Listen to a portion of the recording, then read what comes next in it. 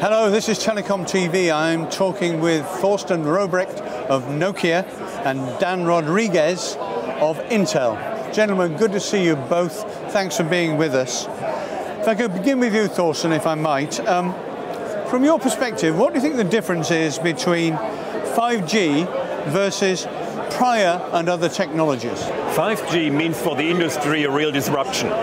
So it's not just a continuation of a 2G, 3G, 4G, 5G, right? 2G brought us some kind of a voice connectivity, 3G brought us a kind of basic data connectivity, uh, 4G brought the real data into the mass market in this, in an efficient way. 5G will bring us the connectivity of the industry.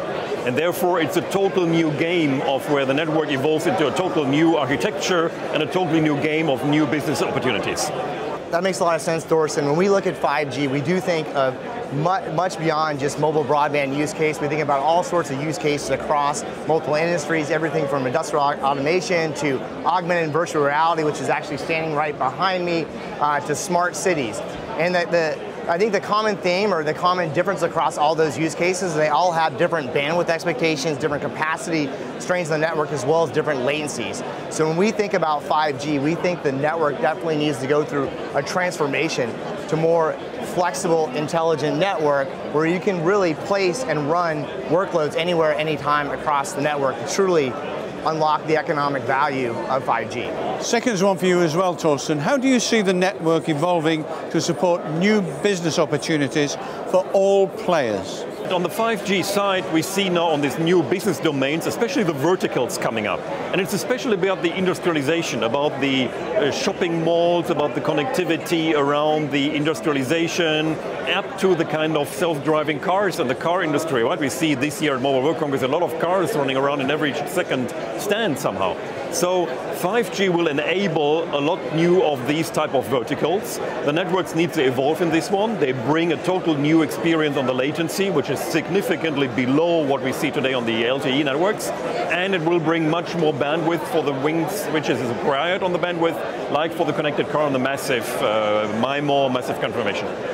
Makes sense, Thorsten. Uh, one concept within 5G as well as the industry is a concept called network slicing. So when you think about all those use cases and the flexibility and intelligence required, and you think about those vertical specific use cases, we, there's, there's a concept called network slicing, which essentially guarantees a slice of the network, if you will, to ensure you can meet the operator's SLAs for specific use cases. So it should create a lot of new business opportunities that can be tailored to new markets. And how do you see the network changing to make 5G a reality for the entire industry?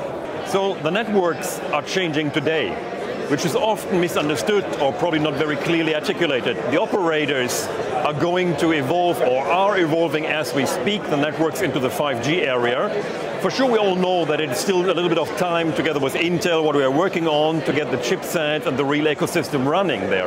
But before the radio interface steps in, we start from the core because it's not only radio 5G, it's a full transformation of the network. In order to have the low latencies and the massive bandwidth, you really need to have it differently there, right? Absolutely, I, I, I, can't agree with Thorsten anymore.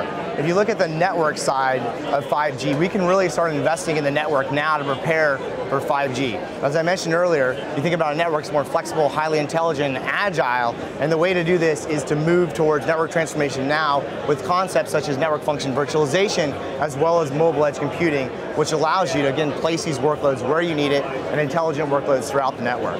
So how are Intel and Nokia working together within the wider industry to ensure the benefits of an ecosystem that can be leveraged by and create new business opportunities for all the players that there are. So when you think about our strategy as a company, we are promoting programs such as Network Builders, where we are truly bringing in a plethora of ecosystem players together, all in all in the names of network transformation and building a sturdy path uh, towards 5G. We're investing, of course, in technology and Intel. We're also investing in many different open source projects, uh, such as our, the Data Plane Development Kit, which is a packet processing uh, set of libraries that optimize performance on general purpose architectures, also investing in other open source efforts such as Hyperscan uh, for deep packet inspection and other efforts like that. So when you think about 5G and you think about us and where we're on this journey, it's truly about bringing all the players together and figuring out a way to deliver that more intelligent network down the road.